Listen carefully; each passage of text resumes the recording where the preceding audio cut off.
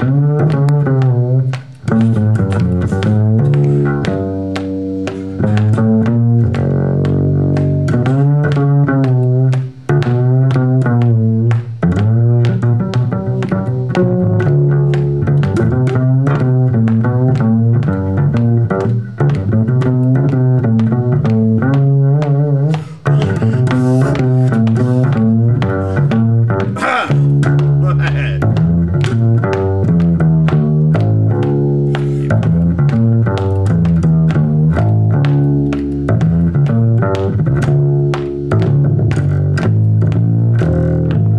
let it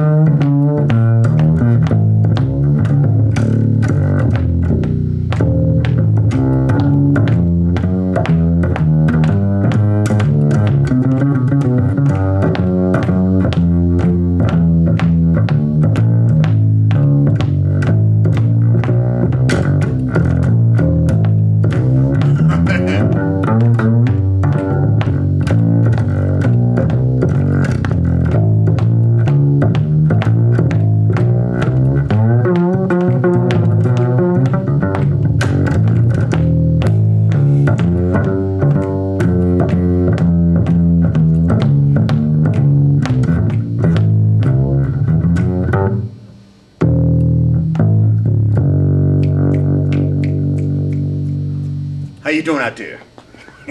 I'm Brandino. I'm playing my, call it the Brandon bass, built by uh, Kenny Climax and uh, myself. I'm using the uh, D'Addario, I call him the jazz set. Five string with the actual low B, low B string. Not the extended CE string, the low B string. Uh, you can hear how the bass sound. I was playing a little song called Swamp Dog Blues from my new record, and um, I'm using this instrument. As you can see, the bass with the five strings, sound. I don't know what to say. It's excellent to me. Strings sound good, long sustain, smooth, really articulate, and very clear sounding. Um, I've been using these strings probably at least five years. I got this bass uh, reincarnated about five years ago, I would say. And um, standard five string. Anybody who has a five string acoustic instrument, there might be some of, some of you people out there that have that.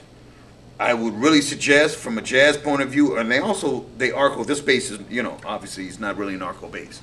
But as far as they sound good on a jazz bass, if you need to arco, they have that good sound. Uh, they play in tune, and they last for a long time.